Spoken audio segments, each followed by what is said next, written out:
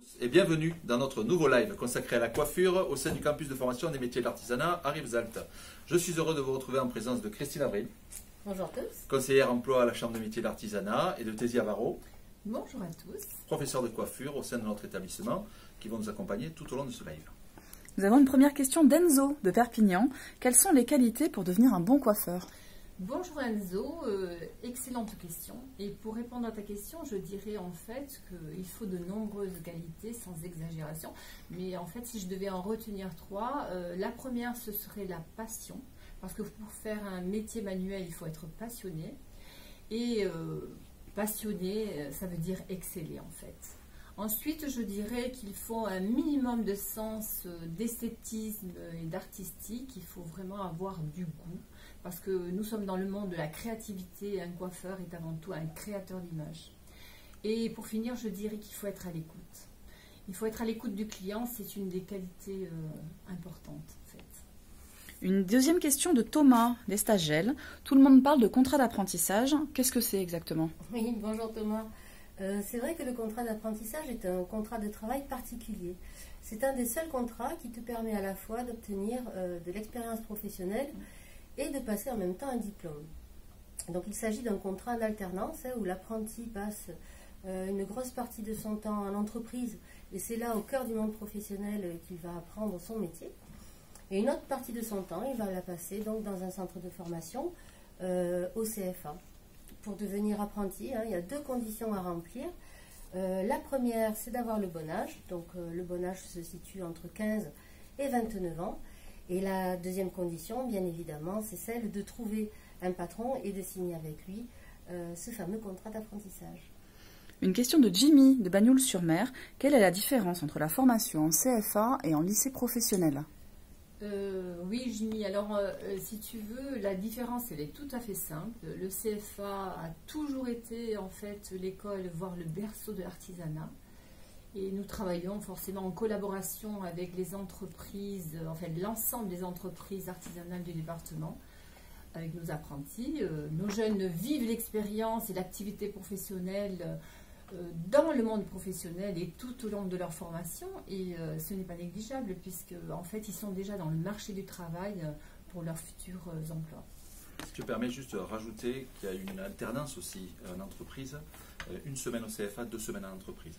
Qui fait que pour conforter les propos de ma collègue, euh, vous passez beaucoup de temps en entreprise au contact des professionnels qui vous forment à nos côtés, bien sûr. Une question de Clémentine de Saint-Féliu. J'ai 32 ans et je voudrais me reconvertir. Est-ce possible dans votre centre de formation? Oui, alors Clémentine, on met en place des dispositifs de formation qui permettent euh, à des adultes ou des personnes en reconversion professionnelle euh, de se former pour un nouveau projet.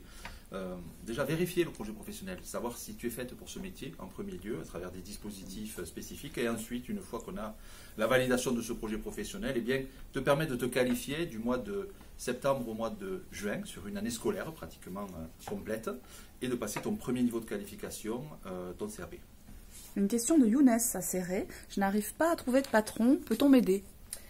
Alors euh, bonjour Younes, Euh, si tu, si tu as du mal hein, à trouver un patron, ça veut dire déjà que tu as commencé tes recherches, que tu as euh, candidaté hein, dans différents salons, et ça c'est le plus important, hein, ça c'est la base.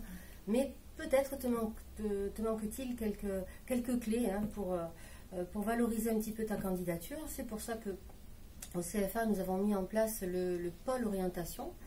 Euh, le pôle orientation ben, permet euh, déjà de te mettre en relation avec des entreprises qui recherchent des apprentis, mais aussi à te- à t'aider à, élaborer par exemple un CV, parce qu'en coiffure hein, notamment, le CV est très très important, hein. il faut qu'il soit soigné, moderne, design. Donc on peut te coacher un petit peu là-dessus, euh, te donner des tutos qui vont dans ce sens. Euh, ensuite on peut te proposer aussi des stages ou des formations qui peuvent durer une semaine ou plus selon ton profil pour optimiser tes chances. On peut aussi envisager de te faire des conventions pour que tu puisses faire tes preuves en entreprise et euh, valoriser comme ça ta candidature. Donc tu l'as bien compris, hein, s'il y a une chose à faire, c'est d'envoyer un message très rapidement au pôle orientation du CFA. Une question de Marie à Nils. Quel est le diplôme pour ouvrir un salon de coiffure? Oui, bonjour Marie. Donc pour ouvrir un salon de coiffure, il est impératif d'avoir le BP. En fait, euh, c'est un diplôme qui équivaut à un niveau bac. Ce sont quatre années, voire cinq années de formation, euh, à savoir deux années euh, pour obtenir le CAP, une année qui est une option, la mention complémentaire, et deux années supplémentaires pour effectivement avoir son brevet professionnel. Il y a aussi donc la possibilité de poursuivre un examen que je qualifierais, un diplôme que je qualifierais d'excellence, c'est le, brevet de maîtrise. Et pour revenir donc au BP, eh c'est une qualification qui est requise tout simplement pour être le référent d'un salon de coiffure, euh, la personne qui serait responsable en fait dans un salon ou dans une équipe. Une dernière question de Fernando à Saint-Estève. Comment s'inscrire? Alors Fernando, eh bien tout simplement, quand tu as signé ton contrat d'apprentissage, le service euh, apprentissage euh, t'accompagnera vers la vie scolaire de l'établissement où tu compléteras la signature de ton inscription, ton inscription définitive au sein de notre CFA. Voilà, je vous remercie en tout cas pour votre attention. Vous avez vu que le métier de la coiffure est un métier de passion. On l'a vu à travers toutes ces explications. Euh, je vous garantis qu'on va mettre cette passion euh, à votre service pour euh, finaliser votre projet professionnel et vous accompagner en formation tout au long de votre vie. Voilà, merci beaucoup à tous. Merci à tous. N'hésitez pas à aimer, à liker notre, notre vidéo et surtout à la partager.